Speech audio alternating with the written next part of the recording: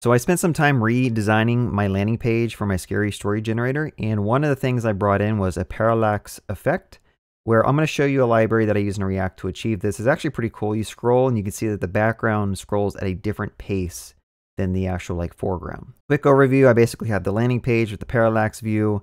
I have an example video that you can watch with some subtle background image. Scroll down some more, I got a how it works page with some subtle animations. And I got a pricing page with some nice hover effects on the cards, and that's about it. So that's my current setup for my landing page. I might add some more stuff later, but I think this is good enough. But how did I achieve the parallax? So going to my hero component, you'll see that I basically have this parallax component, which is bringing in something called React Parallax. Let's go over to NPM and kind of check this out. So here is the package.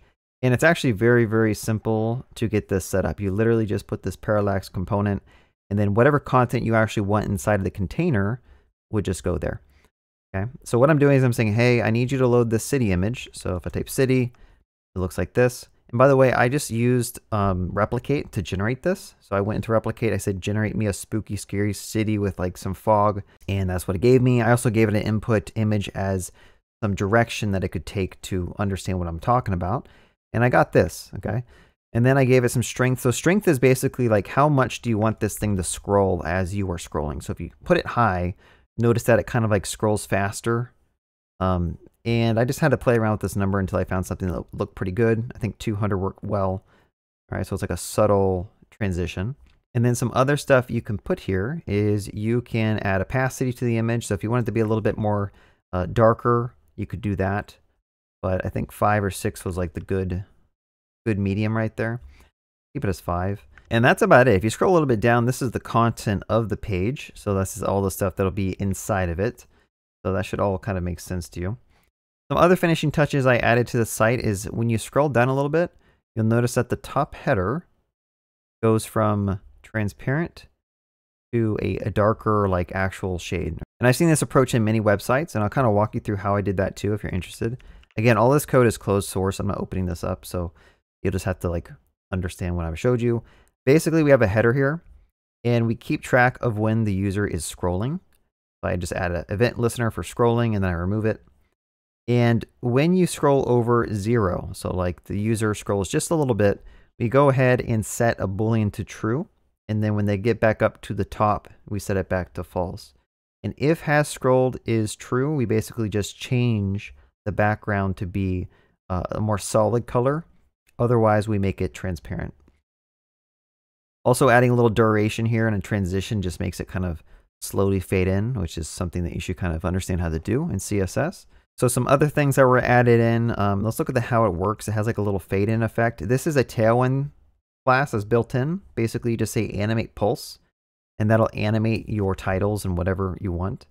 Uh, I don't know if I even like it pulsing, so I might just remove that, honestly kind of distracting, especially since there's already animations here, which I kind of like. So let's look at some of these. How are these working? Let's go find the craft your nightmare. We got an array of three steps, and these steps are mapped over. We have a step card, okay? And looking at how this kind of works, I believe we have like a get animation class. Okay, so all of these steps have an animation class. So scrolling down, this basically is going to look up classes that are defined and it's going to apply them the cards here. Okay, and they have like different speeds and stuff. So animate float slow. Let's go and look at my global CSS and find animate float slow. All this is doing is calling a float slow over eight seconds, doing an ease in out and infin infinitely doing it. So where's float slow? The way animations work in CSS is you typically make a class that calls an animate, and then you have keyframes that are defined up here. The keyframes are where you can kind of specify from a range of zero to 100% what is going to happen over that like that timeline. Okay. So if you imagine there's like a timeline, it goes from zero to 100. And then if you have infinite down here, it just loops back to the front. And so what we're saying is when you start off, you're going to be at Y of zero. So like just keep it stationary. And then when the timeline's running, it's going to move up 20 pixels. And that's the 50% mark and then back down at 100% it's going to hit zero again. So it basically just makes it go up and down. Super simple, but it's cool to understand how these work in CSS because they're pretty powerful when you can get more advanced stuff. Hmm. So another cool animation I found online is this flashing font one. Um, if we actually go here and add it, to the H1, let me just make it over like 0.32 seconds.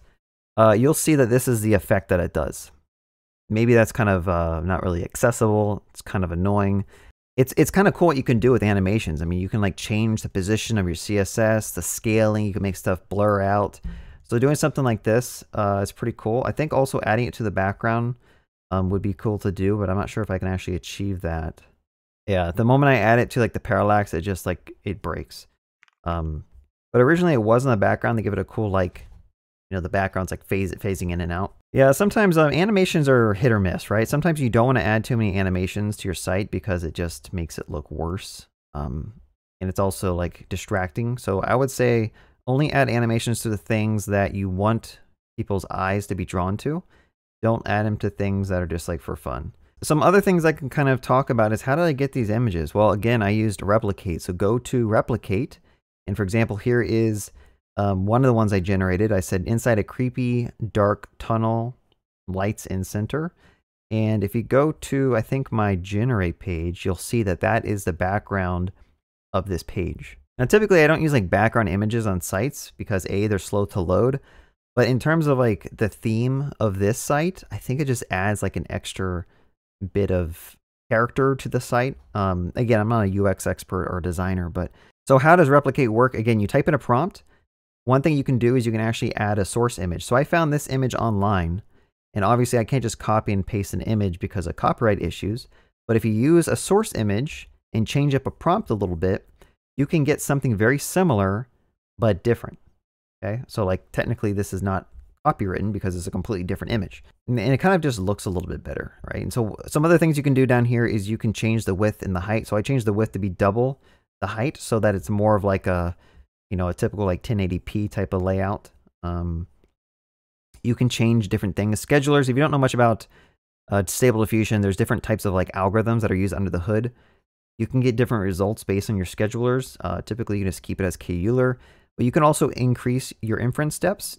Usually there's like a sweet spot of where this needs to be, but it's going to cost you more money the larger it is, and it's going to take more time. So like, so the idea is you keep it kind of low at front, you do some runs, see if you get some good results, and then you bump it up to like 30 or 40 or 50 until you get something that's a lot more like well designed.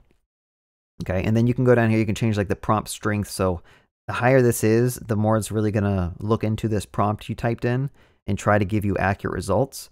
If you drop the prompt strength down to like zero, it's just going to give you a random image that might not even be related to a creepy tunnel. Um, again, this is replicate. It just, you can sign up and you can do a bunch of like awesome stable diffusion stuff. I'm using SDXL, which is one of the recent models that a lot of people have been using. I know Flux is a new one that people talk about, but this one works pretty good for my needs. I'm trying to think what else I could talk about in this this site. You know, just trying to give you little nuggets of information that would be useful. One thing I added in, and I highly recommend you find um, how to add this into to your sites, is when you're dealing with building out and designing websites, typically when you have to do different breakpoints, it could be kind of annoying to figure out like when a breakpoint's happening. So on the bottom right of the screen, you'll notice that it goes from extra large to large. I added this little thing to help me visualize like when stuff starts getting bad. Like right here, I can tell that on a medium breakpoint, stuff gets a little squashed in the header.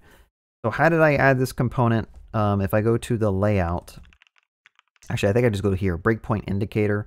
Super simple. You basically just have your breakpoints that match your Tailwind CSS breakpoints, and then um, you hide and show stuff based on those breakpoints. Now there might also be another way to do this. Like I could probably do this all just using Tailwind class breakpoints. Um, but I'll be honest, I use Cursor to generate this. It took five seconds to create, and now I'm using it on my app to help me debug. Anyway, I'm looking forward to uh, just give you little updates on this application as I'm building it out. I just wanted to take some time to like redo the site, make it look a little bit nicer, and then circle back and actually make the generate functionality uh, locked in. Because the other pages of the site, they look a little bit rough. I need to come back in here and just like redesign them and make them look good. Um, but yeah, that's about it. Hope you guys enjoyed watching this and have a good day. Happy coding.